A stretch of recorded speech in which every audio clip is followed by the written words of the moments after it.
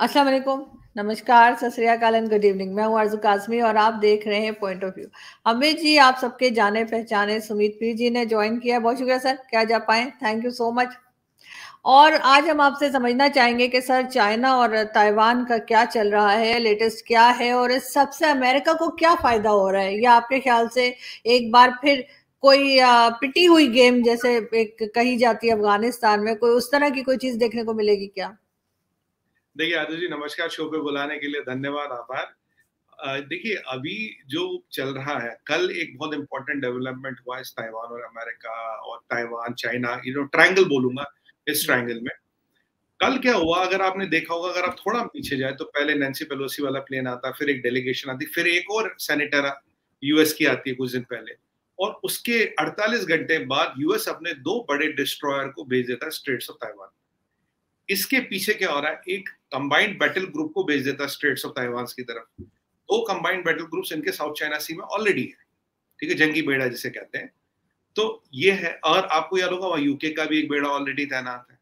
तो अब ये जो दो चलते हैं ये जो स्टेट्स ऑफ़ ताइवान है, ये तो चाइना कहता है, भाई, ये मेरा टेरिटरी है, मेरा पानी है। अब जो यूएन कन्वेंशन है, उसके अकॉर्डिंग क्या होता है? आपकी आइलैंड से, जो आपका कोस्ट है कोस्ट से आपका 22 मील तक आपका 22 मील तक आपका वाटर टेरिटोरियल वाटर माना जाता है, उसमें कोई आ नहीं सकता। ये रूल है वर्ल्ड ओवर उसके 200 नॉटिकल माइल्स तक आपका इकोनॉमिक जोन है। कोस्ट से 200 नॉटिकल माइल्स तक आपका इकोनॉमिक जोन है। इकोनॉमिक जोन का मतलब ये होता है जी, उसमें जो मछली है, जो पेट्रोल है, जो भी रिसोर्सेज उसमें वो आपकी है। तो उसको कोई कंट्री ले नहीं सकता। बट माइनस टेरिटोरियल वाटर्स लोग वहाँ से निकल सकते हैं, अगर वो आपको इन्फॉर्म कर दे, उनके इंटेंशन क्लियर हो। अब चाइना तो कहता भाई, सारी टेरिटरी मेरी, आप यहाँ आ नहीं सकते। अब हुआ क्या कि यूएस ने दो जहाज़ अपने डिस्ट्रॉयर जो थे, उनको साउथ चाइना सी से मोबिलाइज किया, यहाँ उन्होंने उनको चला दिया। अब ये चौथा प्रोवोकेशन है एक महीने में चाइना को, ताइवान को लेके। वो कह रहे कि, भाई, हम तो अपना जहाज़ भेज रहे करो क्या करते हो? वो उनके टेरिटोरियल वाटर्स में नहीं है, पर टेरिटोरियल वाटर्स के बाहर चल रहे अब चाइना फिर परेशान हो गया, कह रहा है कि, यार, ये फिर दो जहाज़ आ गए अब चाइना को यूएस आज के डेट में यूएस भाप गया है कि चाइना की औकात कितनी है। यूएस को पता चाइना लड़ नहीं सकता है। हमने इकोनॉमी की बात की हमने लास्ट टाइम ये भी बात किया भाई लड़ाई करने के लिए चाइना को क्या करना पड़ेगा? चाइना की नेवी में कितनी ताकत है? अभी हमने ये भी बात की कि भाई इंडिया का air force is rank higher than Chinese air force अब मिलिट्री पावर की बात करें आजू जी तो जो अमेरिका का मिलिट्री पावर ओवरऑल है वो 17 टाइम्स देन चाइना है। 17 टाइम्स 17 गुना चाइना से शक्तिशाली है। एयरफोर्स का तो कंपैरिजन ही नहीं, उनका एयरफोर्स तो हमसे नीचे आप यूएस तो बहुत बहुत ऊपर है। कोई कंपैरिजन नहीं यूएस की नेवी इतनी बड़ी यूएस के पास दस एयरक्राफ्ट कैरियर है। कंबाइंड बैटल ग्रुप दस है उनके पास। चाइना के पास अभी दो हैं। अगर आप इन सबको देखें, देखिए एयरफोर्स में आप उनसे ऊपर नहीं नेवी में आप उनसे ऊपर नहीं आर्म्स में आप उनसे ऊपर नहीं लैंड असॉल्ट ताइवान का हो नहीं सकता। अगर ये इंफॉर्मेशन हमें आपको पता तो ज़ाहिर सी बात है कि अमेरिकन को तो हमसे ज़्यादा ही पता होगा। उन्हें लगा कि भाई ये अभी ये चाइना लड़ नहीं सकता। अभी इसकी हिम्मत या औकात लड़ने की नहीं अभी इसको प्रवोक प्रवोक करो प्रवोक करो प्रवोक करो। दो चीज़ों का फ़ायदा अमेरिका का। पहली बार अगर लड़ाई होती भी है तो अगेन एज यूजल अमेरिका की ज़मीन के बाहर है उन्हें फ़र्क पड़ेगा नहीं। आपके दरवाजे पर लड़ाई आप लड़ो भुगतो उसके नतीजे। दूसरी बात अगर लड़ाई होती है आरज़ू जी तो ताइवान जो ताइवान ऐसा वो वैसा रहेगा ही नहीं। ताइवान बन जाएगा सीरिया ताइवान बन जाएगा यूक्रेन। वो ताइवान चाइना के किसी काम का नहीं पॉइंट नंबर तीन इस लड़ाई में रहेंगे महीनों। महीनों के बाद भी आउटकम का कोई आपको गारंटी नहीं है। तीसरी बात, अगर ये नेवल क्योंकि होनी है नेवल कॉन्फ्लिक्ट अगर आप नेवी अपनी लाते हो मतलब चाइना लाता ताइवान स्टेट्स में तो आधी से ज़्यादा नेवी तो आपको साउथ चाइना सी में रखनी पड़ेगी, क्योंकि आपको मेनलैंड चाइना को डिफेंड करना है। आपकी नेवी वैसे ही मतलब वन एट्थ है चाइना की सॉरी यूएस की, और उसकी भी आदि आप यहाँ लाओगे तो आप उस नेवी के साथ अमेरिकन फायर पावर ले लोगे, नहीं ले पाओगे। फिर अमेरिका के एलाइज है जापान हो गया इंडिया हो गया, और एक और चीज़ है इंपॉर्टेंट है आरज़ू जी, अगर आप अमेरिका पे हमला करते हो नेटो का मेंबर है वो तो अमेरिका पे हमला मतलब पूरे नेटो पे हमला तो आप नेटो से भी भिड़ोगे। तो मतलब अमेरिकन नेवी अलाइड नेवीज जो हमारी है जो हम हम हो गए जापान हो गए ऑस्ट्रेलिया कॉर्ड के मेंबर्स हैं। हम्म। अमेरिका के दुनिया भर में बेसिस जो ताइवान के पास है जो डिबोगाशिया की उसकी बात करें और नेटो की नेवी अगर ये सब आएगी can you defend Taiwan you can not defend Taiwan there is no way you can defend Taiwan मतलब आप ताइवान पे कब्जा नहीं कर पाओगे। आप ताइवान का कुछ नहीं बिगाड़ पाओगे। इनकी इस आपकी औकात खत्म हो जाएगी।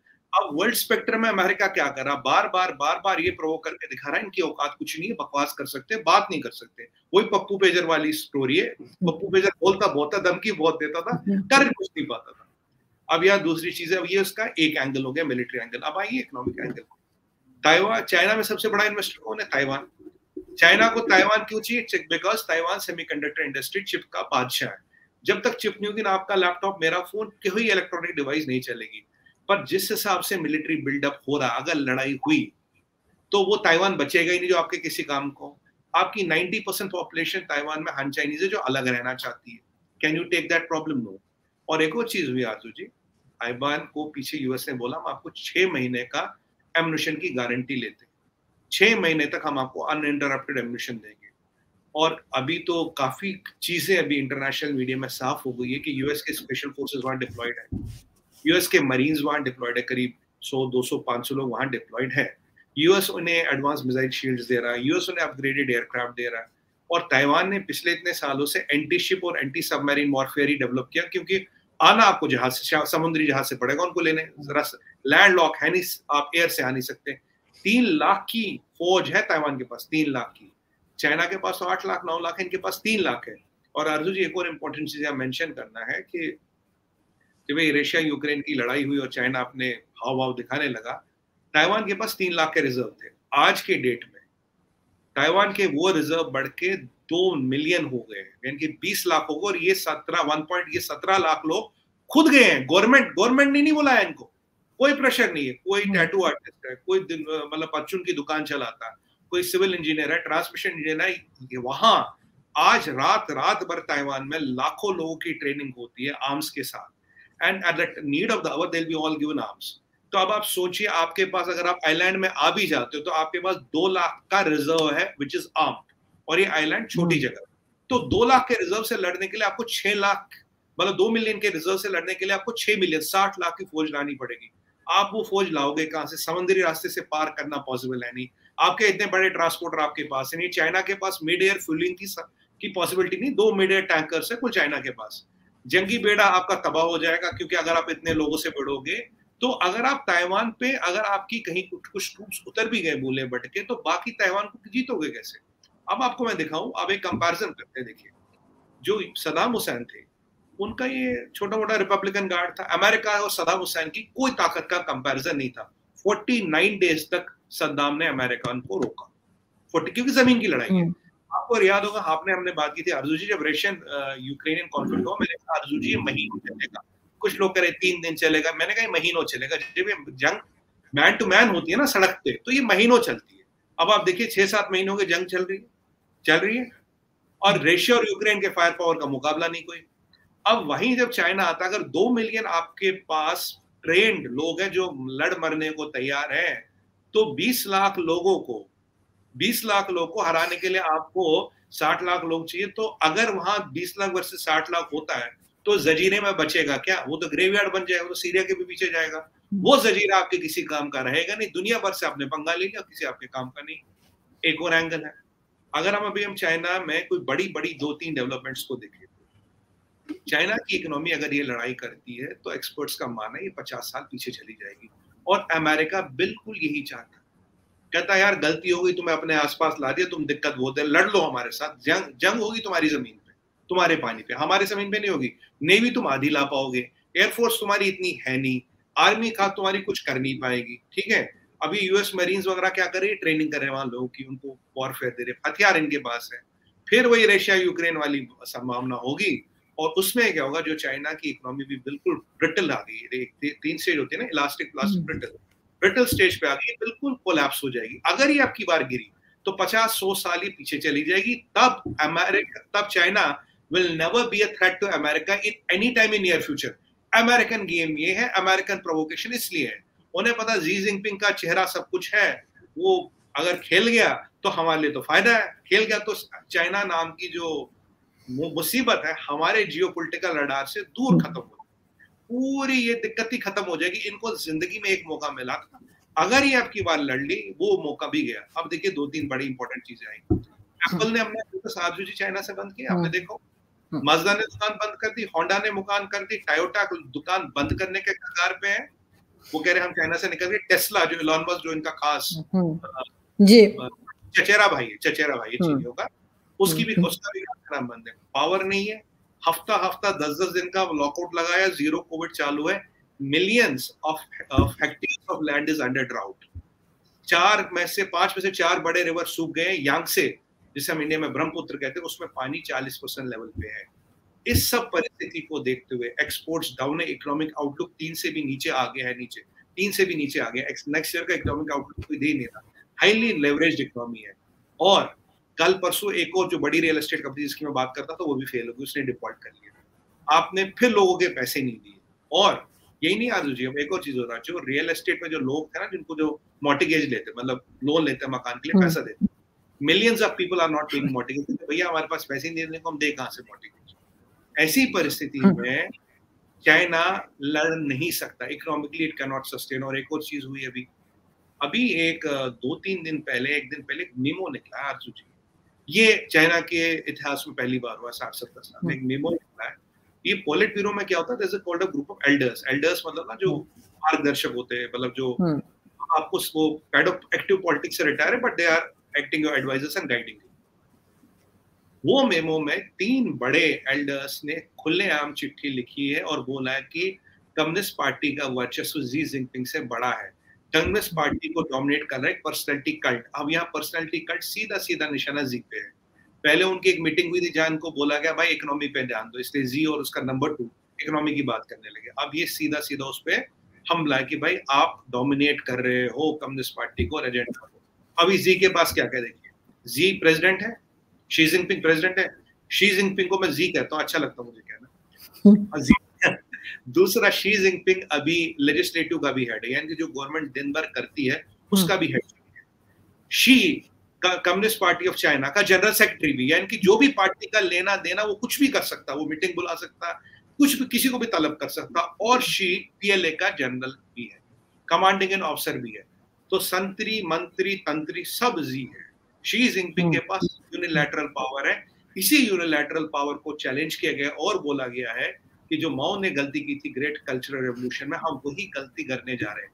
इसका कंपैरिजन सिर्फ़ सीधा माओ से और, और जो माओ ने डिजास्टर किया था उस डिजास्टर को पहली बार डॉक्यूमेंट किया गया चाइना में। माओ से कंपैरिजन किया और डिजास्टर को डॉक्यूमेंट किया गया। और माओ ने अपने रहते रहते एक लेजिस्लेशन लाया था आजू जी जिसका जिसमें यह था कि अगर वो चाहे भाई जो चाइना कम्युनिस्ट पार्टी वो हर चीज़ कंट्रोल करेगी। Science technology military power everything to anything will be controlled and dominated and मतलब decided by Chinese Communist Party जब डेंग जोपिंग आए थे जिनके बारे में हमने लास्ट टाइम बात की डेंग ने वो चीज़ हटा दी थी। जो सीसीपी है जो कम्युनिस्ट पार्टी ऑफ़ चाइना का जो कॉन्स्टिट्यूशन हम्म। है अपना है उसमें से वो चीज़ हटा दी थी। 2017 में जी ने छोरी छुपे बिना किसी को बताए वो चीज़ फिर डलवा दी जो उन्हें एब्सोल्यूट पावर देता। अभी अक्टूबर में अक्टूबर में पॉलिट ब्यूरो का ये अभी अगले महीना हमारा सितंबर में तो आएगी लगभग लगभग पॉलिट ब्यूरो कांग्रेस की मीटिंग है। तो अब वो क्या होगा? इसको फोर्थ टाइम मिलेगा नहीं मिलेगा क्योंकि जी चाइना के लिए लाइबिलिटी बन गया है। अमेरिकन का गेम बिल्कुल सिंपल है। इसको इतना जलील करो इतना जलील करो इतना जलील करो तो तुम इसको हटा दो। अगर हम्म। लड़ेगा तो वैसे ही खत्म हो जाओगे सारे। तो whichever way they play American have the upper hand ये ये नहीं। बताता है।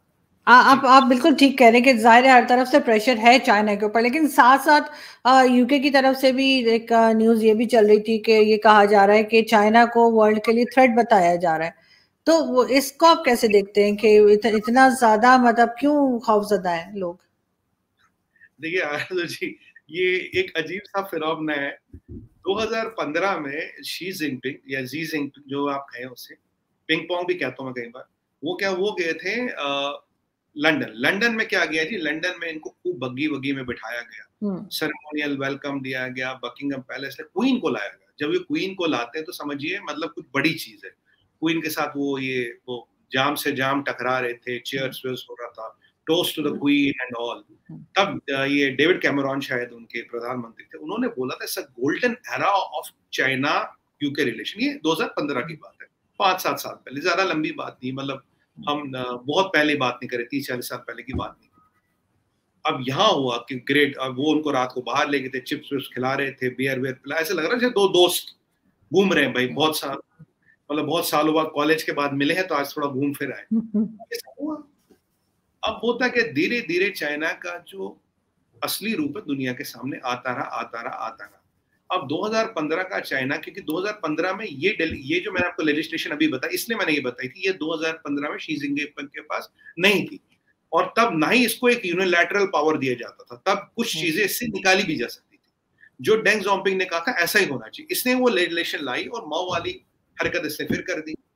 अब 2017 में ये जैसे ये डेलीगेशन आएँगे आप देखेंगे 2018 से चाइना के तेवर बदल के सबके साथ सबके साथ। ज़्यादा असर्टिव हो गया मुझे ये भी चाहिए मुझे ये भी चाहिए मुझे ये भी चाहिए। ये 2018 में होता है जब ये चुपचाप ये डेलीगेशन वापस इंसर्ट करा पाता है। अब क्या होता है? अब धीरे धीरे आप देखिए फिर ये चाइनीज़ वायरस आया सबको सामने पता है। यूके ने खुले आम बोला भैया हमें हुआवे नहीं चाहिए। टेकअपल कर लो। हमें 2024 तक या 2026 तक सारा चाइनीज़ इक्विपमेंट टेलीकॉम से हटा दो। यूके ने बोला अच्छा यूके यहाँ डिसाइसिव है। यूरोपियन यूनियन वाले अब भी इधर उधर घूम रहे हैं कि चाइना है क्या? और यूके ने ये भी बोला, पहले एक उन्होंने एक फॉरेन पॉलिसी डॉक्टर इशू किया था, जिसमें बोला ये हमारा सीरियल कॉम्पिटेटर है।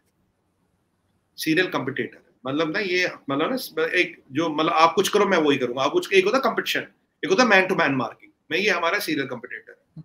अभी जब ये बात हुई, ये सब चल रहा था, अब यूके ने पीछे क्या किया? यूके ने अपने दो वॉरशिप भेजे थे साउथ चाइना से। क्वीन एलिजाबेथ डिस्ट्रॉयर को यूएस के कहने पे उन्होंने साउथ चाइना सी भेज कंबाइंड बैटल ग्रुप मतलब पूरा जंगी बेड़ा उन्होंने साउथ चाइना सी भेज दिया और उनके डिस्ट्रॉयर तो पाँच साल तक वहाँ रहेंगे।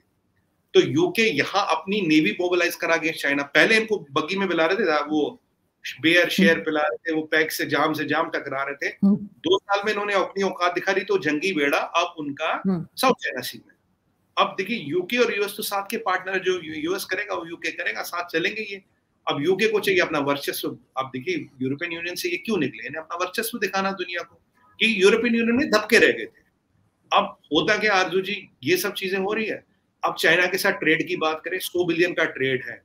But third biggest partner invest करता है आपका यूके में इंडिया है। हमारे साथ ट्रेड में वो सत्रह अठारह नंबर पे आते हैं। चाइना हमारे साथ इतना ज़्यादा ट्रेड नहीं उनका बट इन्वेस्टमेंट हम इन्वेस्टमेंट्स में नंबर थर्ड है।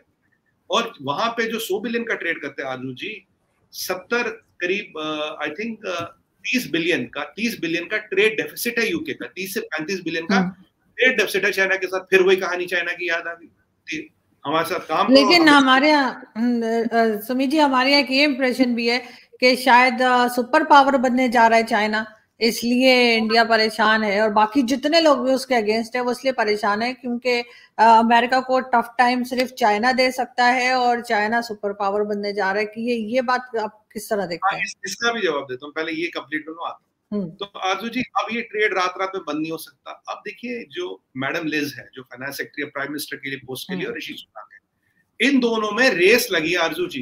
एक ने कहा China is the threat to world peace and UK Liz madam कहती है China is the most potent threat to internal security of UK अब ये कह रही जब मैं आऊँगी तो मैं इनको बहुत मोस्ट डेंजरस नेशन ऐसा कुछ खताब दूँगी मतलब यूके इनको डिक्लेयर करेगा हमारा ये सोन एनवी नंबर वन थ्रेट है। अब पाँच साल पहले सात साल पहले जिनको आप बग्गी में बिठा के शैंपियन एम्पेन पिला रहे थे आज दोनों प्राइम मिनिस्टर कैंडिडेट से लिज और ऋषि सुना के बीच थोड़ा लिज आगे चल रही है। दोनों में रेस लगी है ये चाइना कितना बड़ा थ्रेट है तो मतलब हाँ। कोई भी आए।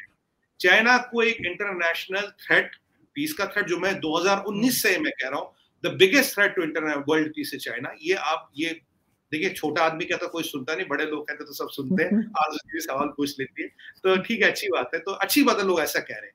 तो दो अब ये दोनों में लगा कि तू इसको कितनी ज़्यादा गाली दे मैं इसको कितना ज़्यादा गाली दू?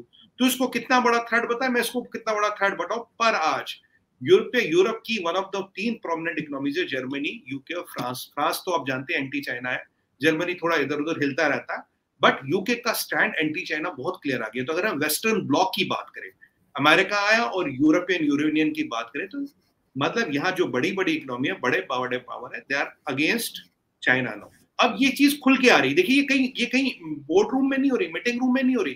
कोई दबे पावर्स की बात नहीं करा खुल के पब्लिक फोरम्स में बात हो रही है।